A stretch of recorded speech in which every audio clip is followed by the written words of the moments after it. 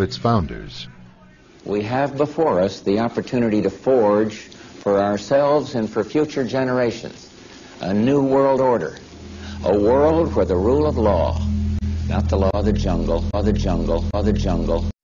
You'll soon have a new option on Amazon for in home, same day delivery. The company on Wednesday introduced a new in home shipping service called Amazon Key.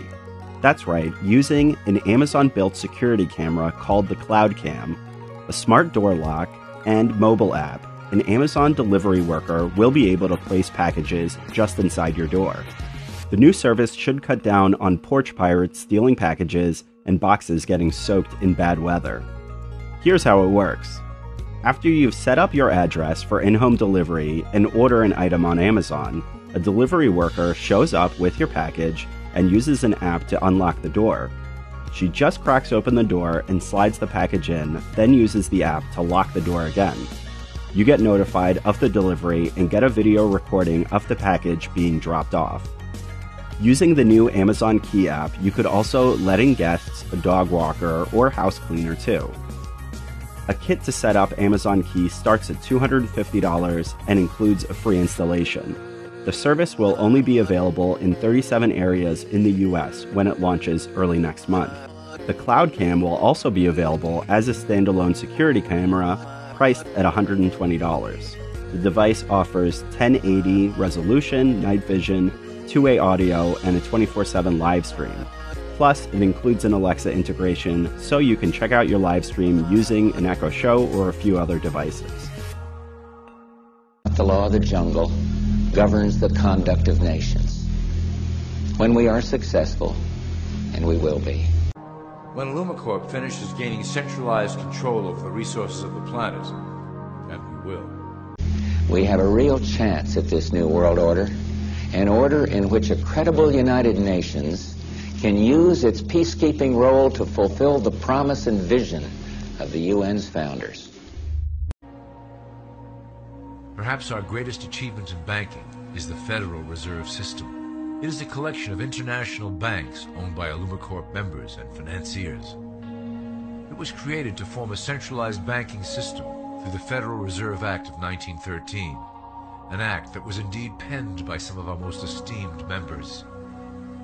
Many of you might still assume that the government itself prints and issues the currency. That is not the case. When America needs money, they go to our boys and ask for it.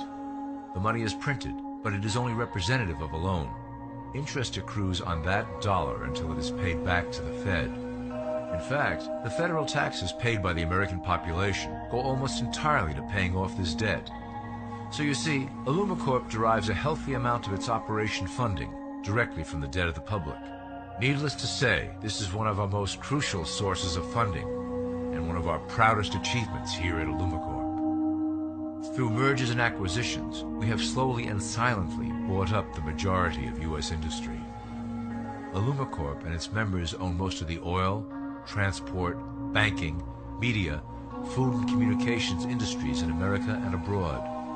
Through fewer and fewer conglomerates, we are able to affect with great precision the machinations of labor and government.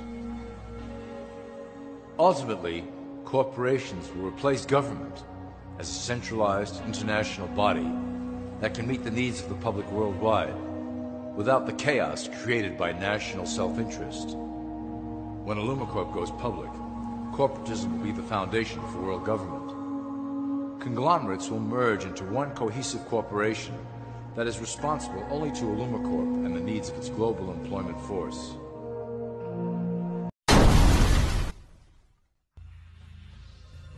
Church of Jesus Christ is largely sleeping like a great bedroom. And you have all the Christians in bed and they're all sleeping. And they're saying, please don't wake me up.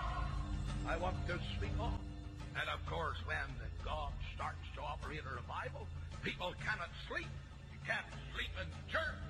But the Spirit of God awakes the people. Look at the first verse of this 52nd chapter. Awake! Awake! Put on strength! Wake it up, you sleepy Christians! Awake, all that sleepeth!